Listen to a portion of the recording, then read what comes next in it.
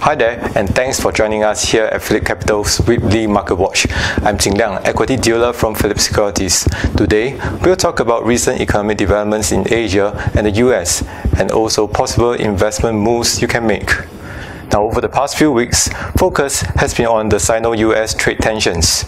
News on the US government's proposal to impose tariffs on 200 billion worth of Chinese goods has spoke the market. With a trade war looming, investors should look at economic data for signs of weakness. In Singapore, recent economic indicators suggest that growth is still stable, with experts estimating 3.9% GDP growth in the second quarter of 2018. We're also seeing encouraging jobs data from the US through increase in active job seekers and jobs added to the economy. Now, looking at the trend over the decade, it does suggest that the economy is peaking, so investors should be cautious.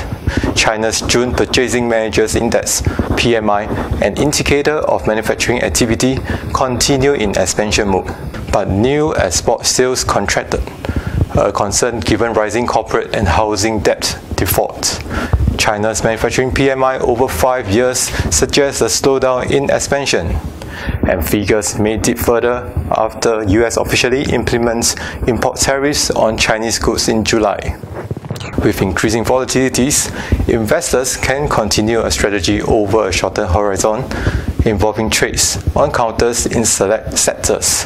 For instance, increase in power consumption, a potential listing on India's BOSE, and stable oil prices bodes well for Sembcorp industry.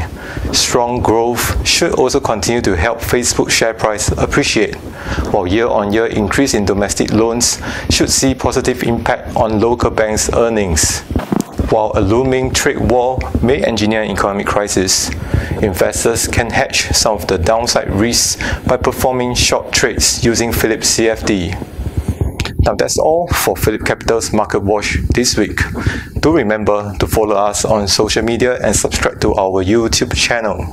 Also, tell us what you think. What investing strategy would you take in this volatile environment? Leave your comments and thanks for joining us and we'll see you soon.